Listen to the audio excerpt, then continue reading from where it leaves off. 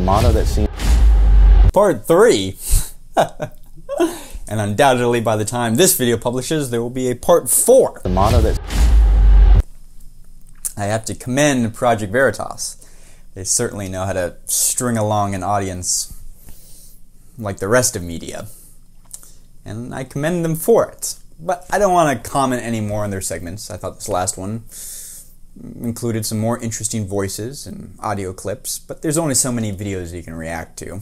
Instead, I would like to get philosophical with you, viewer, if I may, for a moment. No script, just off the cuff.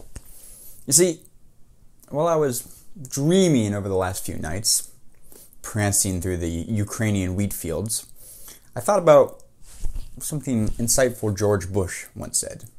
Yes, I know. Now, Bush is not exactly known for his eloquence. Nonetheless, he did have a phrase that stuck with me. He said, It's the soft bigotry of low expectations.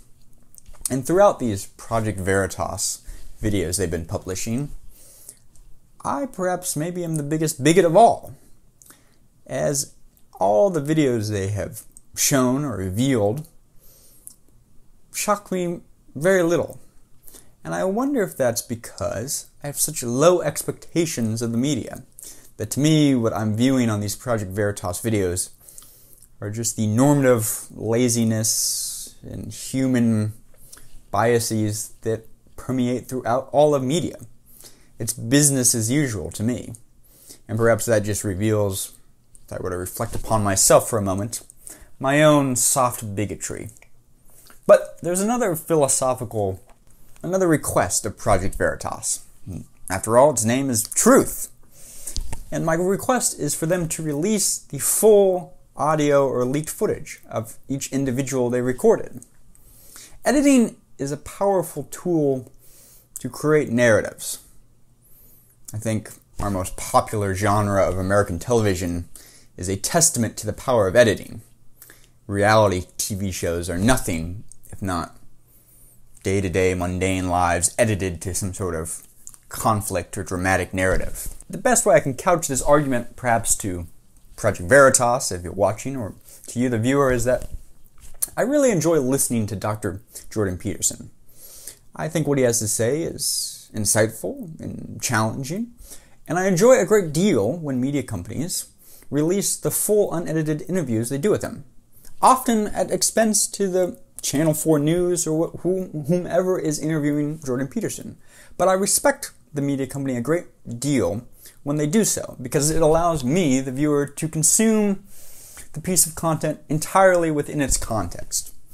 And I would gently plead with Project Veritas to release the full interviews or the full undercover footage they have with, with each CNN employee so that I and you and we could all consume with the great context what what in entirety the CNN employee said.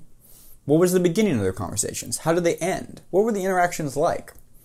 And I don't mean to suppose any sort of malintent in the editing that Project Veritas is doing, but if they really stand for truth, I would implore Project Veritas to release all the leaked audio and footage, release them in their full, unedited clips so that we can consume them and understand them as they are in its entirety. At least philosophically, I think I would like that. Perhaps you would enjoy that as well.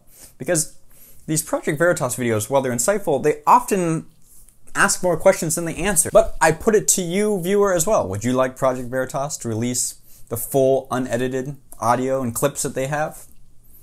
Would you find it insightful? Leave a comment down below. If you're watching this Project Veritas, which I surely doubt you are, I, would love for you to release it.